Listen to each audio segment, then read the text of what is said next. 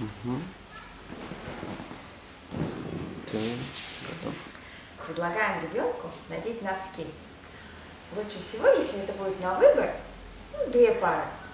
А в возрасте полтора года точно их будет две. А уже ближе к трем годам ну, их может быть три. То есть на выбор уже может быть несколько пар.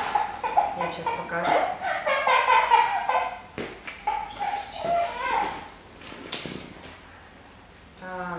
Первый вариант, самый-самый простой.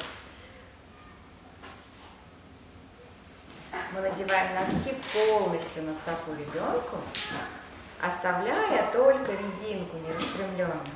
И ребенок уже сам на себе дотягивает резинку.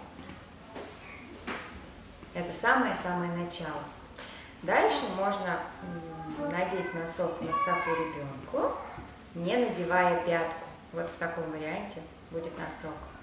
И ребенок уже сам, можно даже показать двумя пальцами, за что тянуть. Да, что за резинку, чтобы не за, вот, за что-то, а именно за резинку.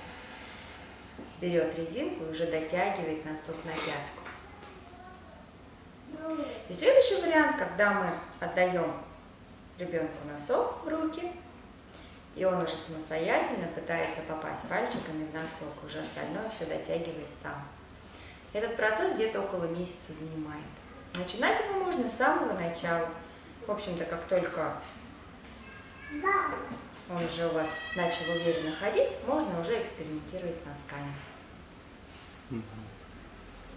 А как ребенка садить там?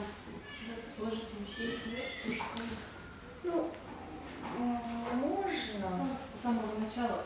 Я, я просто пыталась э, как-то тоже объяснять э, маме одной, как лучше. Ну, То есть она вообще не понимала, ну, как бы она Что не понимаю? не понимала, что с, ну, как бы, что с ребенком делать. То есть я говорю, ну предложи ей сесть, а, покажи на выбор. То есть, может, она что-то выберет. Ну, такие прям элементарные.